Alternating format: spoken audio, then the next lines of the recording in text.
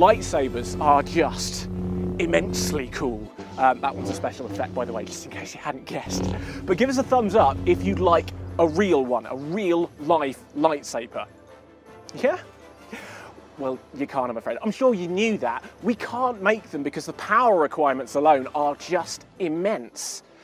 But that's just a technological limitation. Doesn't mean they're fundamentally impossible. So we could have lightsabers in the future.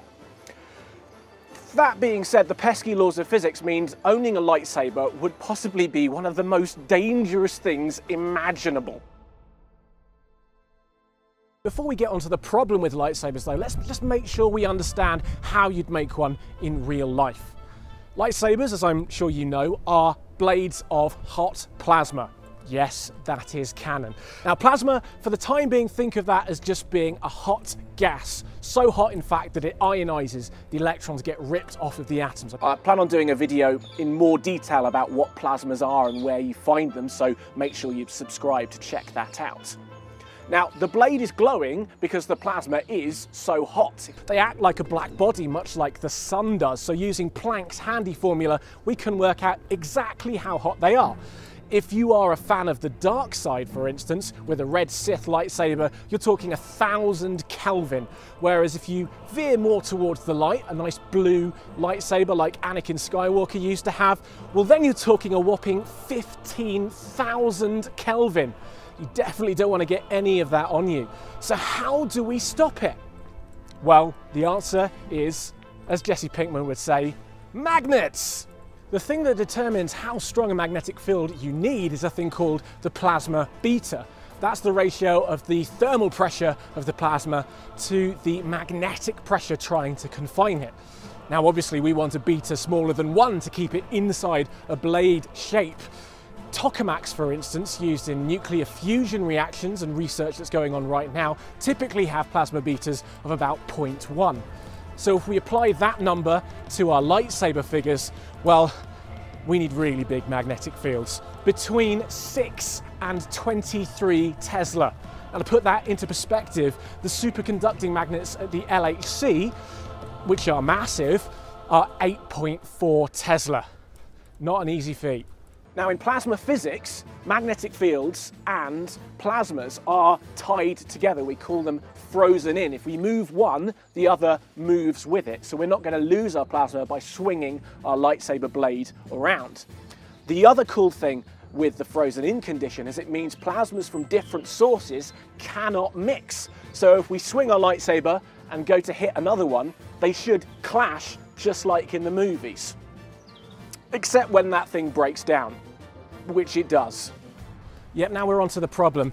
You see, there's this fundamental plasma process called magnetic reconnection, which can release a huge amount of energy when plasmas with different magnetic fields collide.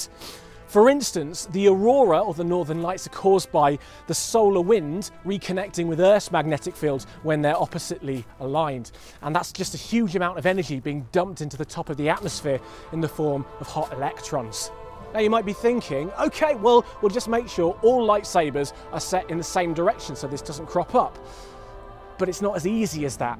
There's an equation which determines when reconnection can occur. And here it is. The three things involved are the angle between the magnetic fields, which in this case you can think of as the angle between the two lightsabers. You've also got the difference in the plasma betas of those two lightsabers and the distance between the two blades in terms of something called the ion inertial length. Now, we know the plasma betas have to be small to confine the plasma into their blades, so the difference in those has to also be a small number.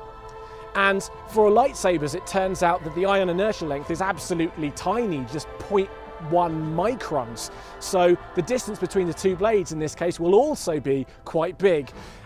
And that means that if you were to have a lightsaber fight, you pretty much get reconnection going on all the time unless you could get them exactly aligned when they clashed. Now you might ask, well, why do I care? Surely it's not going to be that bad. Well, it is. Reconnection releases a huge amount of energy, not only in the form of jets of that hot plasma traveling at some 3 to 13 kilometers a second. That's the same speed as most explosions. So at the clash of two lightsaber blades, huge amounts of hot plasma are going to be ejected at explosive velocities and they're going to vaporize your hands, legs and face off. And not in a fun Nicolas Cage way. That's why I don't want one of these.